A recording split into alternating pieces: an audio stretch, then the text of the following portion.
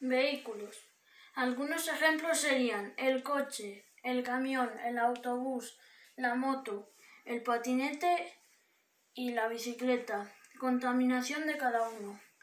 El coche contamina 104 gramos de CO2 por kilómetro y pasajero.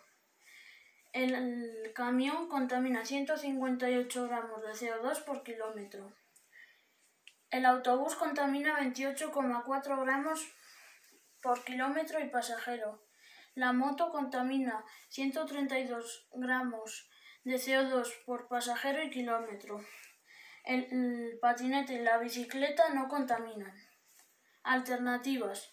Algunas alternativas serían incentivar el uso de transporte público, autobús, metro, tren, desplazar andando siempre que se pueda, ir en bici o en patinete y compartir coche.